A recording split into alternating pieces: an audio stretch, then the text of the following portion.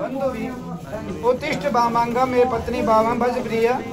जद किंच, तब चित अस्ति, तद ममृता लड़का कहता है कि हर पत्नी जो है, अपने पति के बाम अंग बैठती है। तुम मेरे क्यों दाहिने अंग बैठे हो? पत्नी खबे बन है ऐसे जीवन है। क्यों मेरे दाहिने अंग बैठे हो?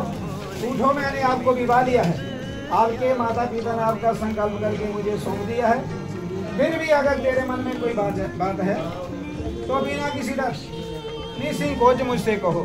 तो कन्या कहती है नादानेन विवाह तो अस्थि लाजा होमे निभाही विवाह अस्तु तदा योजदा शब्द पदाक्रमा संति में शब्द वाक्यानि, त्वया गृहणी सर्वदा, एवं यदि प्रमाण प्रमाणित सुनाया लड़की कहती है विवाह दान करने से या फुलियों का हवन करने से नहीं होता है। विवाह तो तब हुआ जानना कि जब सप्तपदी हो जाए।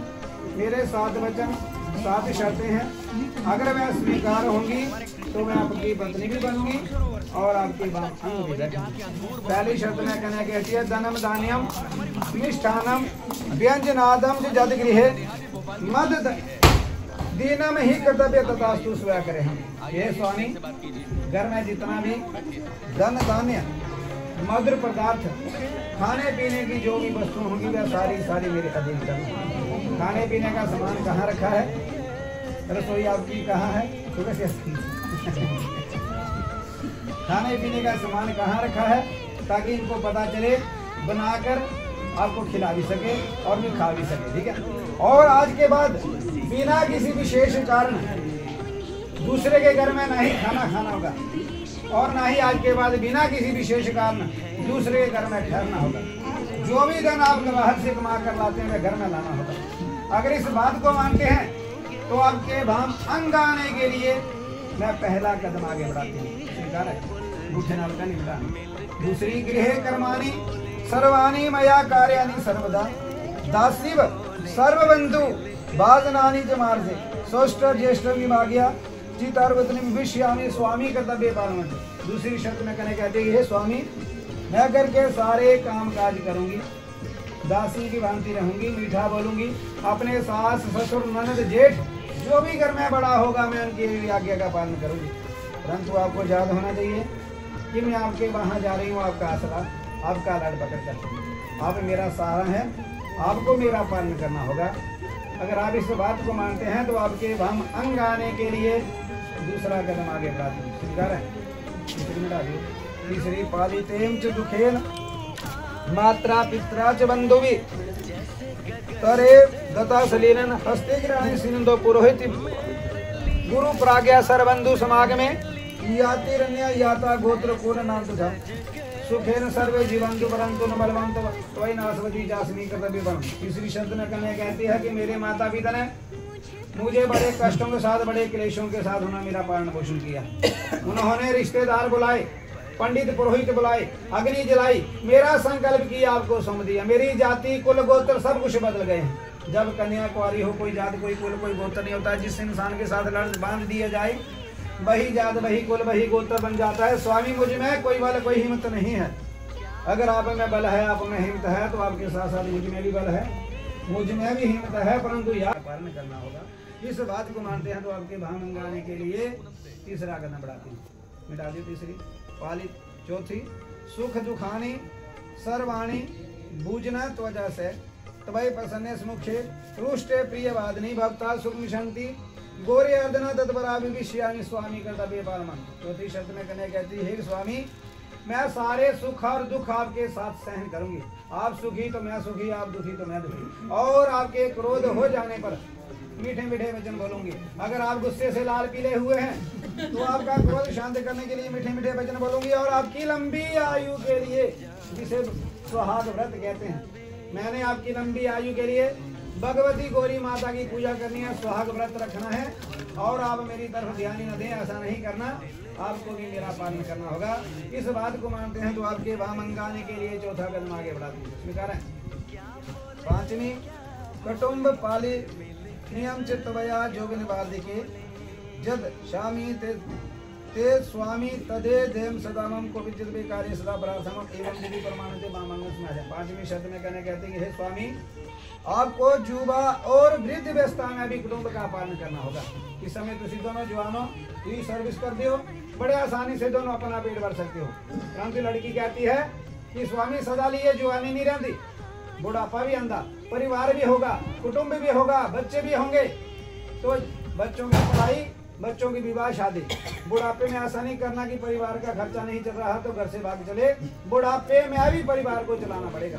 और जो मैं आपसे उचित मांगू, वे मुझे आप ला कर दे बार बार मांगने पर क्रोध इतना हो।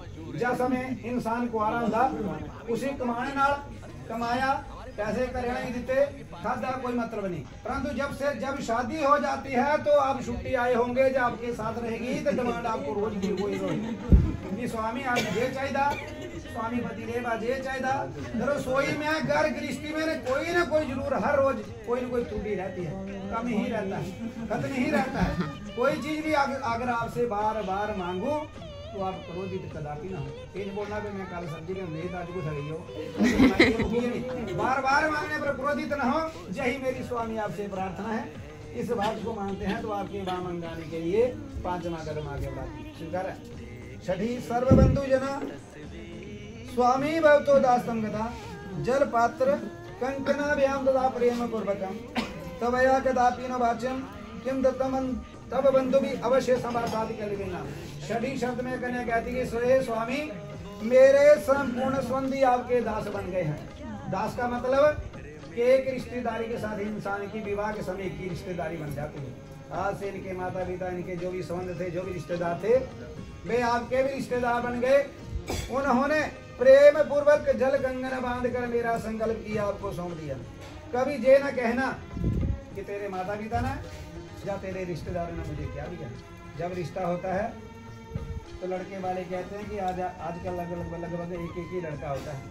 तो कहते हैं कि हमारे घर में सब कुछ है, टीवी है, फ्रिज है वॉशिंग मशीन है, कुछ नहीं चाहता। ऐसे ही कन्यादान कर देना।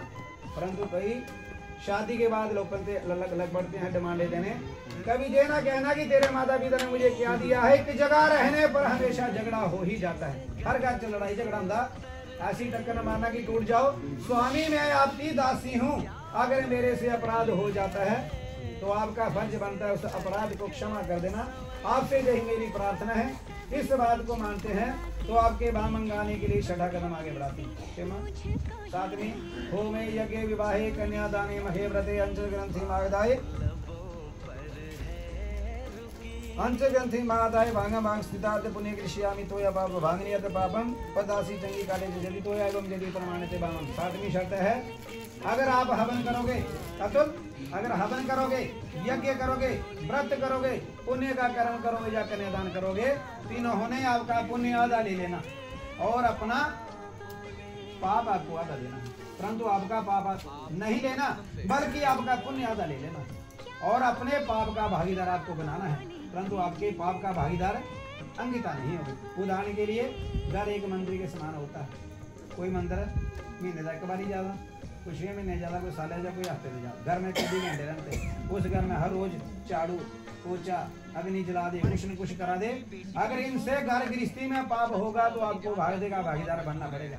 और आप पुण्य कर्म करोगे तो सुनो आपका पुण्य आधा ले लेना। और घर गृहस्थी को चलाते हुए अगर आप पाप कर्म करोगे तो आप अकेले भागीदार होंगे आपकी पत्नी स्वीकार है?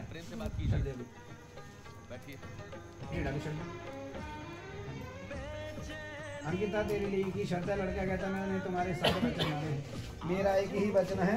आदो धर्म दरा कुटुंब सुखदा तथे प्रिय वाशिनी पुरोध अलस्य विवचनित कर्या बचानि कारणे पित्रोचदात भगनी पमेदर्जिता सर्व कुलानि बाल्य गोत्रिमम उद्यानि पर गमन पर गीतम हसे बजे तो सदा लड़का कहता, मेरा एक ही वचन है, पहली बात है कि सच बोलना, झूठ कभी नहीं बोलना, झूठ जितना मर्ज़ी छिपाओ, आज नहीं तो नहीं तो महीने के निकल जाता और प्रिय वचन बोलना, बंदा बारे थके भी होना बड़े प्यार के जनानी आंदे जी चाह नहीं पीनी, पानी नहीं पीना थकावट दूर। प्रिय वचन बोलना, और क्रोध तथा अलस्य से रहित रहना, हर टाइम क्रोधित नहीं रहना हर टाइम आप खेने पाएगा कि कोई घर रिश्तेदार आई अब रोटियाँ पकाने पई तो बना लिया सिर बना लिया जा तो मैं नहीं बना सकती, मेरे सिर बड़ी पीड़ है। अलग से सरहित रहना। क्योंकि लक्ष्मी औरत एक लक्ष्मी का रूप होती है। घर गृहस्थी में अगर वह बिल्कुल स्वच्छ भाव से क्रोध रहित, आलस्य रहित और प्रिय वचन बोले, उस घर में कभी भी कोई लड़ाई झगड़ा नहीं होता है। उसमें घर में हमेशा भरगत रहती है। जिस घर में औरत 24 घंटे त्योड़ियाँ पाड़ा जाए 24 घंटे गुस्सा होंदियां जंदियां लड़ाई उस घर च कभी बरकत नहीं आती और अगर मेरे माता पिता भाई बहनों का प्रेम पूर्वक सत्कार करोगे तो मैं तुम्हारा अवश्य पालन करूंगा ਉਹਦੇ ਨਾਲ ਕਿਸੇ ਦੀ ਇੱਜ਼ਤ ਕਰਗੇ ਤਾਂ ਆਪਣੀ ਇੱਜ਼ਤ ਪਹਿਲਾਂ ਆਉਂਦੀ ਜੇ ਕੁੜੀ ਧੀ ਧਿਆਨ ਕਿਸੇ ਦੇ ਘਰ ਸਾਰਿਆਂ ਦੇ ਅੱਛੇ ਕਰਗੇ ਨਾ ਆਪਣੇ ਪਰਿਵਾਰ 'ਚ ਕਰਨਾ ਨੇ ਆਪਣੇ ਪਰਿਵਾਰ ਦਾ ਅੱਛਾ ਪਰ ਉਹਦੇ ਮਾਪਿਓ ਵੀ ਬੋਲਦੇ ਨੇ ਬੜਾ ਅੱਛੇ ਸੰਸਕਾਰ ਦਿੱਤੇ ਹੈ ਲੜਕੀ ਬੜੀ ਅੱਛੀ ਹੈ ਜੇ ਉੱਥੇ ਜੇ ਕੇ गलत ਕੀਤਾ तो सारे पिंडिया ना बदनाम। अगर मेरे माता पिता भाई बहनों का प्रेम पूर्वक सत्कार करोगी तो मैं तेरा ज़रूर पालन करूँगा। बगीचे में शराबी के स्थान पर न जाना। और आए पुरुष के साथ हंसना गाना बजाना छोड़ देना। घर के भीतर अगर सुख और दुख मेरे साथ व्यतीत करोगे तो मैं तेरा अवश्य पालन करूँगा क्योंकि बिना पत्नी के गृहस्थ आश्रम नहीं चल सकता। अगर मेरे विश्वास के अनुसार पति व्रता धर्म का पालन करोगी तो मैं तेरे साथ वचन मानूँगा स्वीकार है? स्वीकार है? भाई ना उठा जल्दबाजी नहीं करनी। तो खड़े हो जाना खड़े हो जाओ। थोड़ा भाभी लगी बैठे तू जरा। थोड़ा।